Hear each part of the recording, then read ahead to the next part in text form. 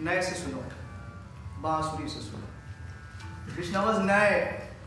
क्यों हिकायत नहीं बोलते ये कौन सी हिकायत कौन सी कहानी मुझसे बयान करती है? वज जुदाई हो शिकायत में गुना ये किन जुदाइयों की किन दूरियों की किस बिरहा की कहानी मुझसे बयान करती है? आप देखिए बांसुरी बाँस का एक हिस्सा होती है जिसे बाँस से अलग कर दिया जाता है। उसमें सुराख डाल दिए जाते हैं। उसमें फूंके मारी जाती हैं तो उसमें से आवाज़ लय निकलती है। बांसुरी के बारे में रूमी ने ये कहा कि असल में बांसुरी की फरियाद है। ये उसका गायन नहीं है, ये उसकी फरियाद है। वो अपनी असल से, अपनी जड़ से, अपने बाँस से चूँकि अलग कर ली गई है, उसके इंतज़ार में, उसकी जुदाई में, उसकी बिरहा में वो रोती है। वो उससे जाके मिल जाना सुना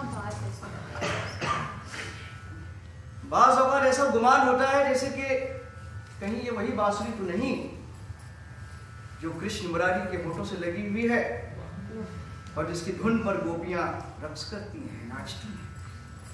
वैसे तो हर गोपी के दिल में यह बात होती है कि कृष्ण उसी के साथ हो। इसलिए कभी कभी जैसे कि निगाहों को धोखा होता है कि जैसे हर गोपी के साथ, हर नाचती हुई गोपी के साथ एक कृष्ण है। गोया कृष्ण एक नहीं, अनेक।